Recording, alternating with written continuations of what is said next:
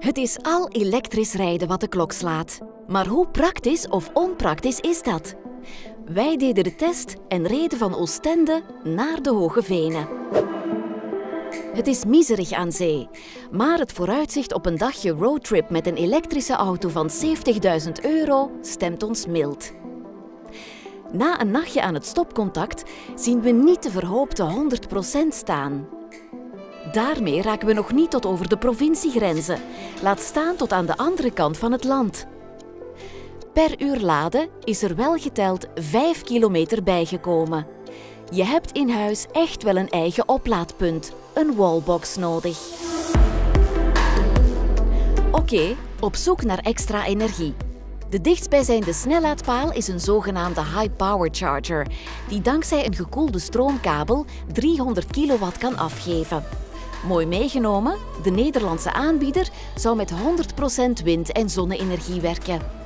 We proberen het laden te starten met behulp van de Fastnet-app, maar geen resultaat. Een tweede laadpaal? Hetzelfde verhaal. Ook paal 3 en 4 gunnen ons geen stroom. We bellen de helpline. Zij slagen er na twee pogingen in om van op afstand een laadcyclus in gang te zetten. Dat kan toch echt niet de bedoeling zijn voor iedereen die hier langskomt? Het laden gaat nu tegen een aardig tempo. Zeker de eerste 20% van de batterij is in no time vol, tegen een vermogen van 150 kilowatt. Daarna vertraagt het en uiteindelijk duurt het toch nog 50 minuten voordat we 52 kilowattuur hebben. Normaal gezien goed voor 370 kilometer. We kunnen eindelijk op weg.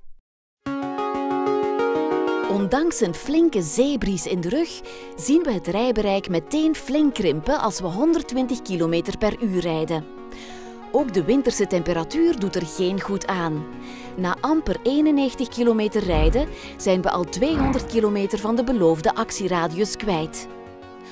Omdat we nog een heel eind voor de boeg hebben, laden we even bij in Drongen. Daar zou een laadpaal moeten staan die we met onze plugsurfing badge kunnen gebruiken. Plugsurfing groepeert verschillende aanbieders van laadpalen over het hele land.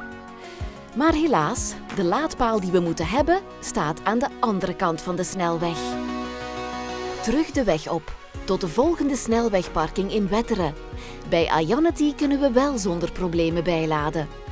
Zonder problemen, dat betekent een uur wachten totdat de batterij opnieuw 90% vol is. Echt snel laden is dat toch niet? De rekening maakt het er allemaal niet beter op. De Plugsurfing-app kondigt maar liefst 1,4 euro per kilowattuur aan. Dat zou 37,90 euro zijn voor uiteindelijk maar een halve laadbeurt. In werkelijkheid betalen we slechts 31,32 euro voor 36,5 kilowattuur. Dat is het dubbele van wat een gemiddelde 2 liter benzinemotor verbruikt. Met de talrijke onderbrekingen is het duidelijk dat we de Hoge Venen vandaag niet meer zullen zien. We besluiten in Leuven te overnachten en zoeken een vrije parkeerplaats met publieke laadpaal. Een nieuwe dag, nieuwe kansen. Met zowel de batterij als wij zelf voor 99% opgeladen, laten we Leuven achter ons en steken we de taalgrens over. We klimmen boven 500 meter. De temperatuur neemt stelselmatig af en ook de batterijcapaciteit daalt ziender ogen.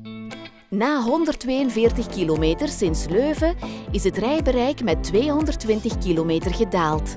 We hebben nog stroom voor 110 kilometer en we moeten nog hoger.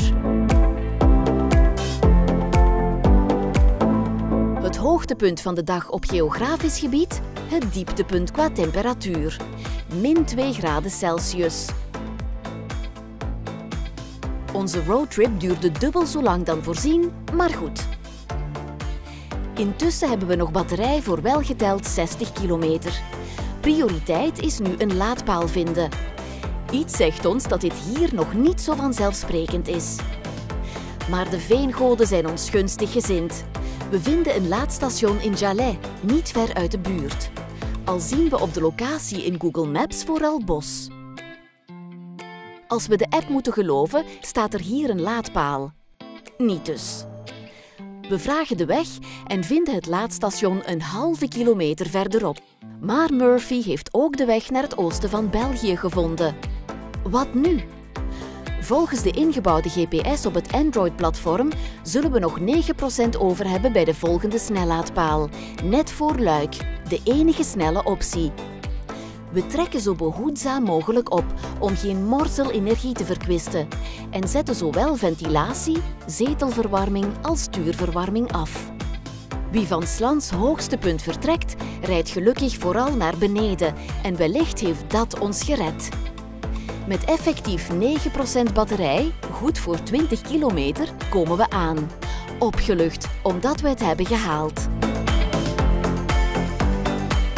Wat hebben we geleerd?